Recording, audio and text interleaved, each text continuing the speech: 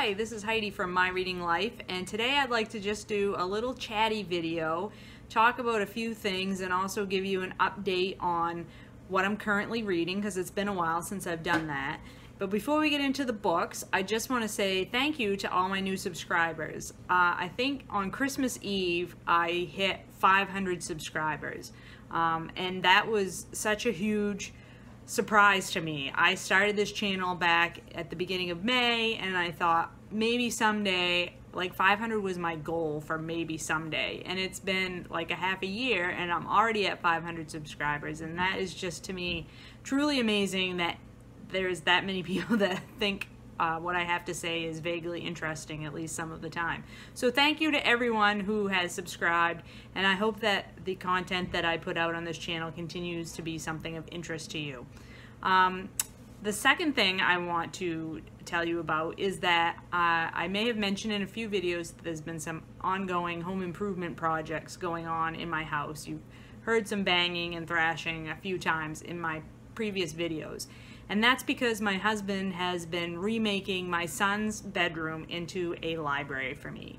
Um, and so since uh, over this week, which we have off from between Christmas and New Year's, we have off from work, we've been working on that room and gotten it mostly uh, arranged. And I'm in the process now of organizing and rearranging my books onto bookshelves. And so in the future, I do plan to film from that space. Um, and hopefully that will all work out and in a, in a few more videos I will be filming from that new area and I'm super excited to finally have a space um, where I can unpack books that I have had in boxes for years and years and years. Um, so that is really exciting for me personally. Another thing I wanted to mention is um, there's been a lot of talk on uh, BookTube in recent weeks about Goodreads and how people use Goodreads and whether or not Goodreads impacts uh, reader fatigue and reader happiness or unhappiness and all that sort of thing. And I am not uh, really a user of Goodreads. I have an account and I'm, I use it mostly to track um, different groups that I uh, am interested in that have uh, accounts or have thread set up in the discussion area of Goodreads, but I've never used it for tracking my reading. Um, but in 2018, I do think that I am going to set up a so-called Goodreads goal. I'm going to believe I'm going to set it for 100 books. I generally read somewhere uh, around 110 to 130 books. So I figured if I set it at 100, I won't be putting any added stress on myself but I'll be able to sort of track how, how my reading goes. And I'm interested in using some of the um, statistical tools and infographics that Goodreads provides. I'm also interested in connecting with readers that I've met here on BookTube in that, um, in that forum. So um, do plan on using Goodreads a little bit more in 2018, so that will be something new for me, and hopefully we'll be talking to some of you over there as well. Um, I think that's it for sort of my updates that I wanted to give for the channel. And now I would like to tell you what I'm currently reading. So the first thing that I'm currently reading that I'm almost done with, and this is because of two uh, booktubers recommendations, and this is The Hidden Life of Trees by Peter Wohlleben, I think is how you say his name. And the subtitle is What They Feel, How They Communicate, Discoveries from a Secret World. Um, this book was rec recommended to me both by Doris over at All D Books and by um, Tree Hugger Spiderling, and I will link both of their channels down below.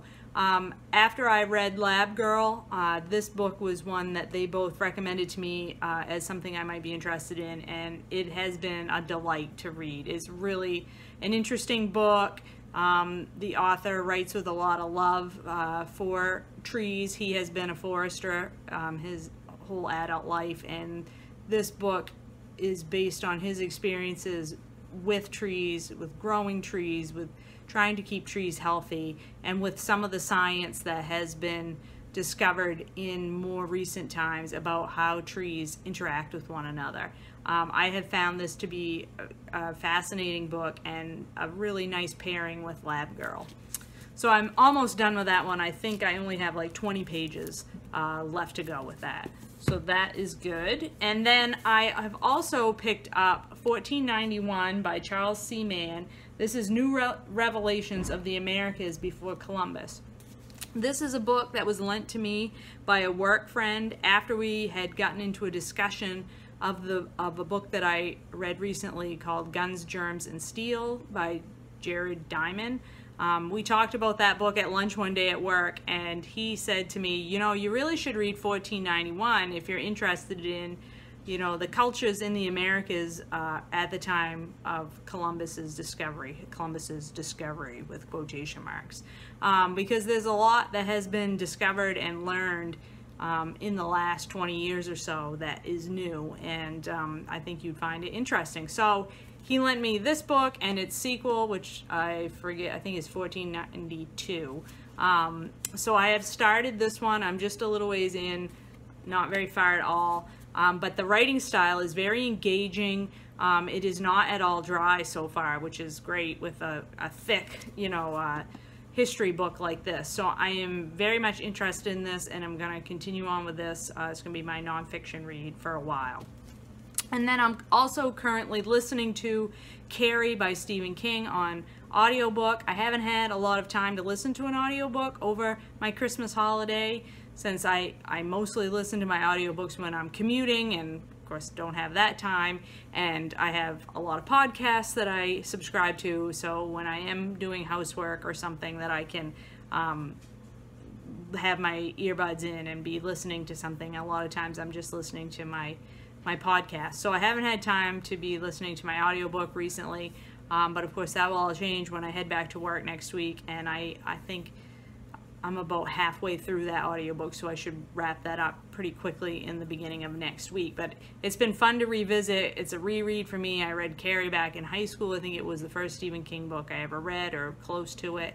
Um, but it's really been fun to revisit uh, and enjoyable on audiobook. It's read by Sissy Spacek, so that's that's pretty fun. Um, so that's what I'm currently reading. Um, I don't have a, a, fiction book on the go. I probably will be picking one up here either tonight or tomorrow. Um, so I'm not sure what I'm to throw into the mix there, um, but it'll be something probably in the next day or so. And that's where I'm at. And I hope that you have all been reading something really wonderful over the Christmas holidays, and I will talk to you later.